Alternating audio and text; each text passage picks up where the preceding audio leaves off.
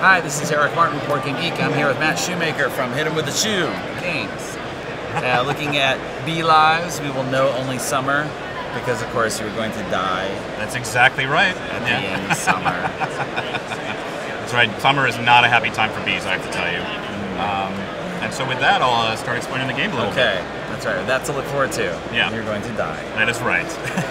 Okay. So uh, the game takes place in two theaters, and the first one is right here. Uh, this is your hive. We're set up here for two players in about the third turn of the game, um, just for some teaching purposes. Okay. So uh, this is a resource management and worker placement game. So the main part of the board is right here. Uh, we have our bee workers on the left. There are five main resources in the game, your workers being one of them because you can sacrifice them as well as take actions with them to do certain goals in the game. Okay.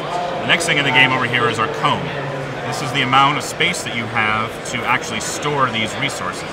And this is very important because uh, resource management, or bee resource management game, obviously is a big part of it. How many you have, that affects when you're going to swarm, which I'll talk about in a little bit, um, as well as just how much you can fit, which limits what you can and can't do. Okay. So we start off with 10 uh, spaces of comb, and uh, normally this would be empty, but I started off filling here with just Yeah. some stuff for the game. It's good. Yep. Gives us something to work with. Exactly. So the first resource uh, is honey, which is these yellow cubes, of course. Honey is worth a victory point at the end of the game. It's also what you use to feed your bees with. So you, one honey cube will feed up to two of your workers. If your workers don't eat, they die. Bad news for bees. Okay. Um, and finally, you can use it to take this build wax option down here. Uh, you spend two honey cubes and move this guy over one and increase your comb size. So this is how you expand your hive.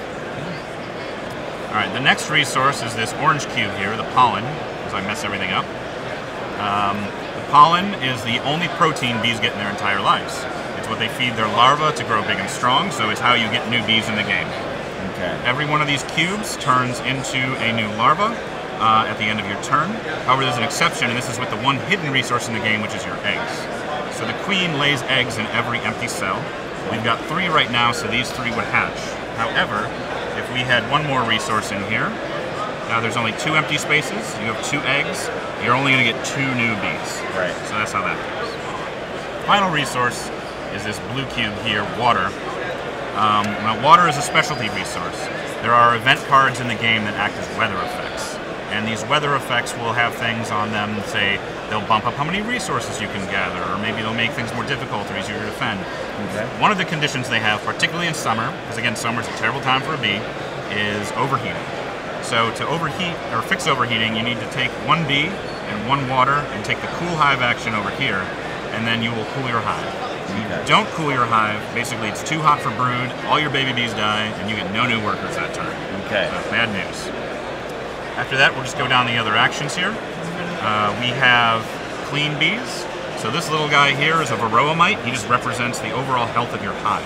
As you take actions such as robbing other bees for honey to steal their resources, or going out to just forage them, this counter goes up the track. Now the first two don't do anything. But when you start getting here, bad things happen. Right. Bruise your larva. That's right. Every single one of those, one larva is dead. And at the end of the game, uh, during the winter phase, which is an upkeep phase, you lose an adult bee per negative that it's on. Okay. So bad news. Robbing and defending, I will talk about in just a little bit. Um, requeening, this is a little asymmetry to the game. So there are four queen types. I'll just steal yours here for a second so we can see them all. This first one is the aggressive queen. Um, she gives you, for every two bees you use to take the rob or defend action, counts as three. Okay. This is the hygienic queen. With her, this guy goes up every other time he should go up instead of every time. Okay. This one is the Swarms Frequently Queen. I'll explain her in a little bit because it doesn't make sense to bring it up right now. Yep. And this one is the Prolific Queen. With her, you get more work. two spaces is. Three bees, exactly. There you go. Pretty straightforward. Glad, glad the iconography is working. That's right. Yeah. Okay. So final action that we can take here is Scout. So I'm just going to move this over here. And over here we have the shared map. So again, the starting off, we're just starting on these two bloom tiles here. I'll explain what those are in a second. Um, but eventually, when you take the scout action, you go and dig in this bag and pull out a new tile. You point where you're going to put it before you see what it is, Okay. and then you plunk it down. And that's how you grow the map. Now, um, there are four different tiles in the game. We have the green bloom tile, which is best in the spring season of the game. The uh, yellow wilt tile, which is best in the summer portion of the game. The orange harvest tile, which is best in the fall, and then the wet tile, which is the only tile you can normally get the water resource in the game. So you scout, everything's fine in the summer, which is the first three months of the game. Um, everyone's in their own little island. There's not a lot of player interaction. After that, uh, the bees, there's far fewer resources, and they're going to start paying attention to each other more, and you can now interact more. So the person who started last in the game is going to combine the map however they want, and there's strategic advantage to how they do that. Right. And then you will have a shared map where you can now interact with each other. Okay. And now this brings us to swarming. So I'm going to show your map here. I don't know if we can see this here a little bit. We just need to see the top half. We don't need the whole thing. Alright. Yep. Okay. So this comes also with the swarms frequently queen that I gave you. So with each um, bee that you have here, there's uh, two ways to swarm. The first is having too many workers in your hive. Bees don't think they have space. They're getting out of there. They're making a new home. It's how they reproduce in the wild. So if you look on here, we have these green numbers and these purple numbers. Right. The green numbers are how many bees that you can have with a any queen but this one. Okay. This queen, if you got more than the purple number, you're swarming. Okay. So you have her. You can have up to four bees. I got five. You have five, so half of them rounded down are going to leave. And then you are going to place a swarm tile. He's going to put it here. Okay. You're the purple one, so you're doing this over here to harass me. And because it left you, it becomes a strength two hive. So this hive now acts and runs on a fairly simple AI that is different for what season of the game you're in. It will harvest these tiles and basically block them with its own workers, and it will also rob us and try to take resources. Okay.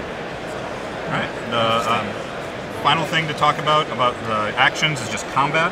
Combat is a simple dice mechanic. You choose how many bees you're going to rob with, and let's say we're going to go with two here. You move into the rob action, and then you roll a d4. So you roll this. I got a four, so I use two bees. I can only do up to two, and then you would steal two of my honey that is now yours, and you and you would earn two victory points for doing that successfully as well. Okay. Um, game plays in uh, three seasons, as I mentioned, three months per season, and then there is a winter upkeep phase. Uh, yep, right here. Uh, each of these cards get flipped over. So if we go to the first summer, we would just flip this guy over, take the effect on the card and how that changes the game, and then we would carry on until the end of November.